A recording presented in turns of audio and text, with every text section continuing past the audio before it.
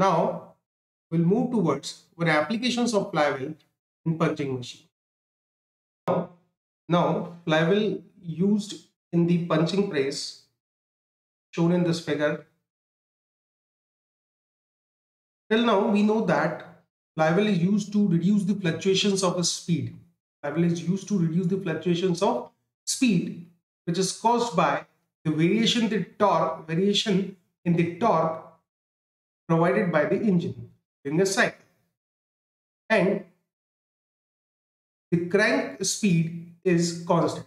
That means the load on the crankshaft is constant. So flywheel is used to reduce speed fluctuations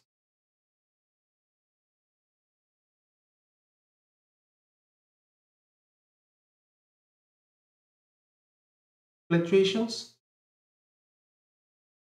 when torque varies and load on crankshaft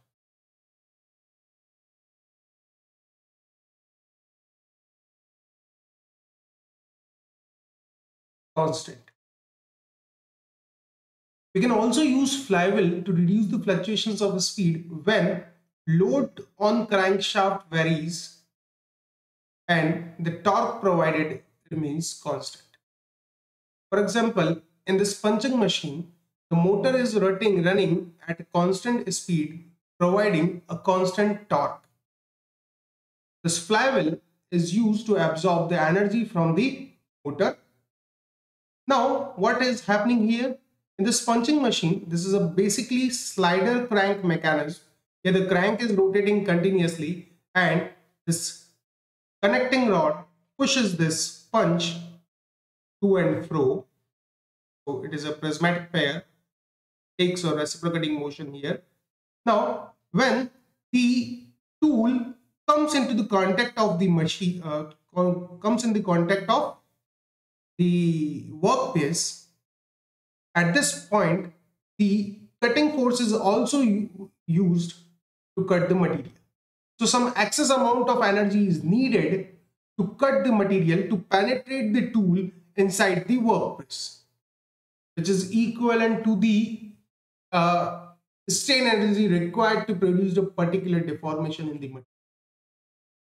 So in this type of punching machine or riveting machines, at the time of riveting on or punching, the energy required is most and the load of machine is also increases during the punching operation or riveting operation. For example, consider if this machine is not, if this workpiece is not placed here, then this work machine will work, rotate at the constant speed without any fluctuation in the speed now, if I put suddenly a piece of metal here, then as my tool strikes the metal piece, it should also penetrate the metal piece according to its strength and the energy which is responsible for the deformation of piece is also comes from this moving crankshaft. And during the complete punching operation, the energy is absorbed from this crankshaft. So the speed of crankshaft is suddenly dropped during the punching operation. If the punching is start at any angular rotation theta, any angular rotation position of crankshaft theta 1 and punching ends at the angle of rotation of crank theta 2 that means the tools start penetration when the crank rotates by angle theta 1 and stops penetration. That means the penetration is completed when the crank turned by the angle theta 2 so during theta 1 to theta 2 value of crank rotation the punching operation is performed.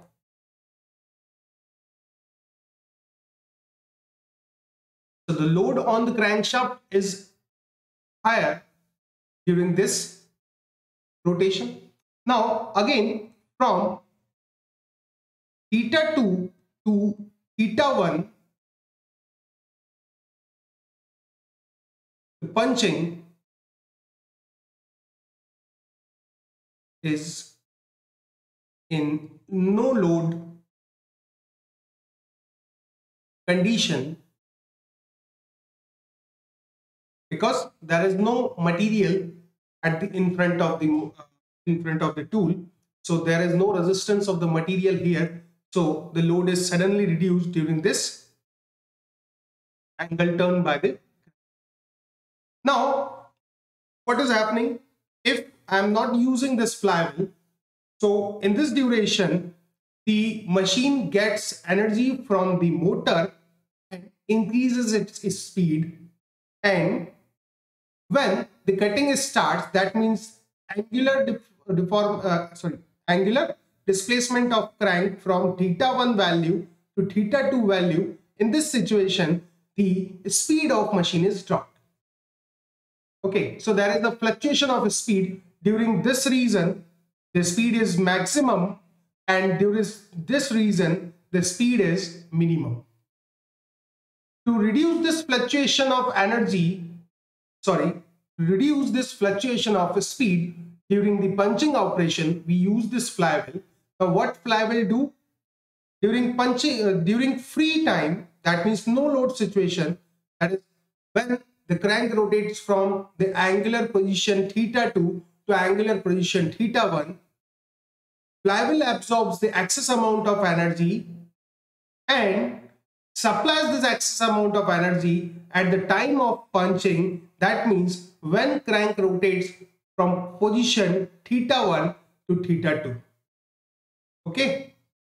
So in this manner, the flywheel help us to reduce the fluctuation of speed during punching operation, punching and non-punching operation. Now let's determine what is the fluctuation of energy in the punching machine. Let us consider that E1 is the amount of energy required in the punching a hole. So let E1 is the energy required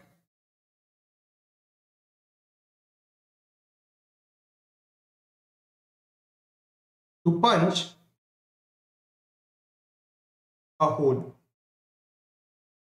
Energy required to punch a hole is E1. D1 is the diameter of hole to be punched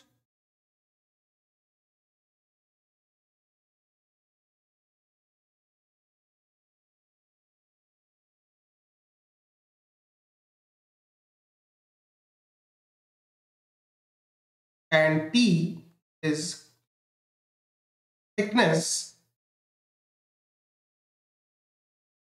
of plate in which hole is created.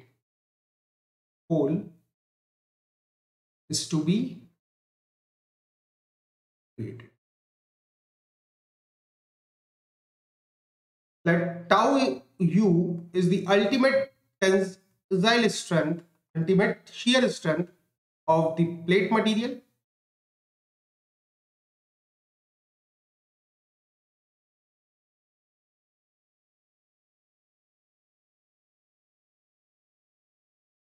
Strength of plate material So the shear force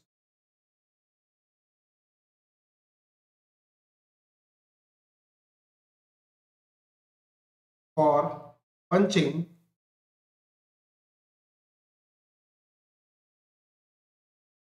Fs is given by shear strength, ultimate shear strength into the area of shear that is pi d1t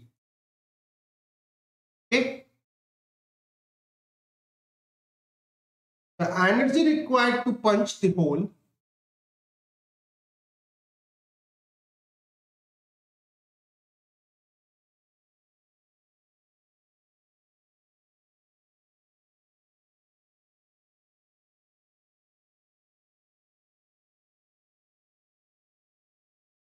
that is E1 denoted by the average energy that is 1 by 2 Fs into the displacement is T. Now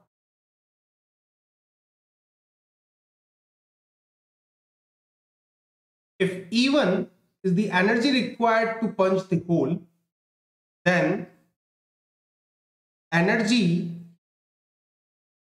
supplied by a motor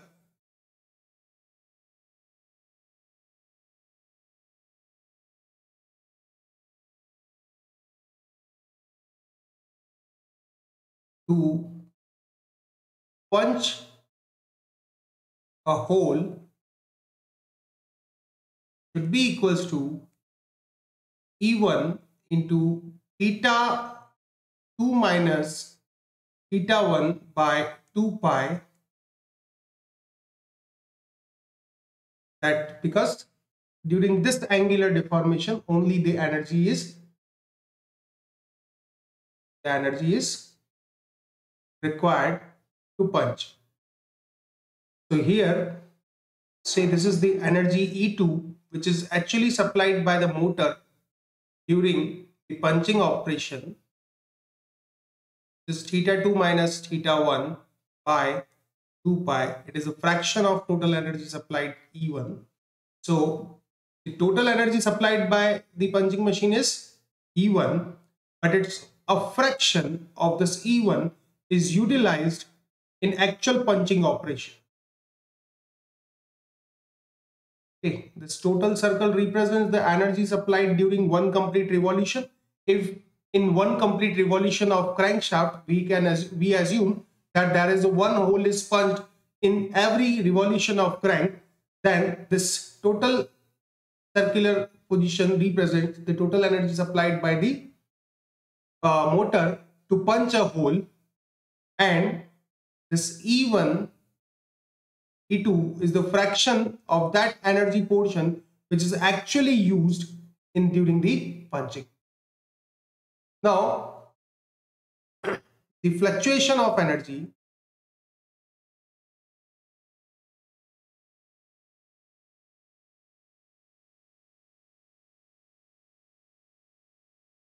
fluctuation of energy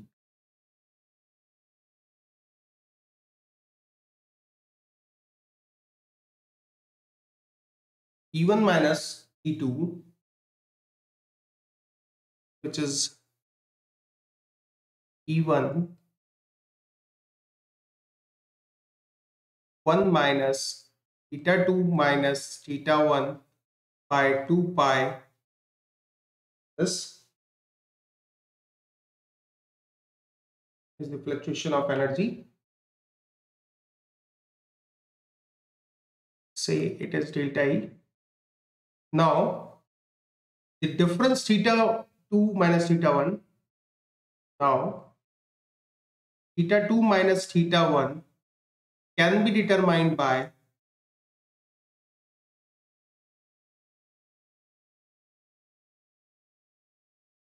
by the geometry of punching machine.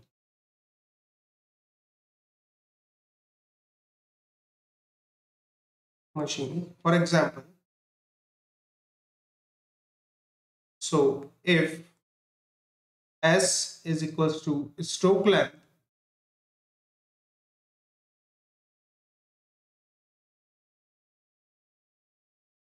equals to 2 times of r where r is equals to crank radius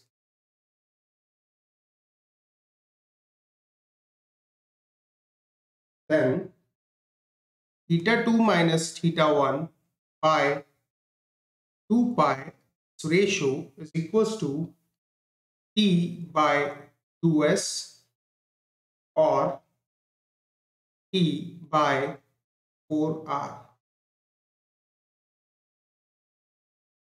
in this manner, we can determine fluctuation of energy from any punching machine. If you have any doubt or query related to this topic or in this subject, then share your doubts or queries on the given numbers here. Okay, thank you.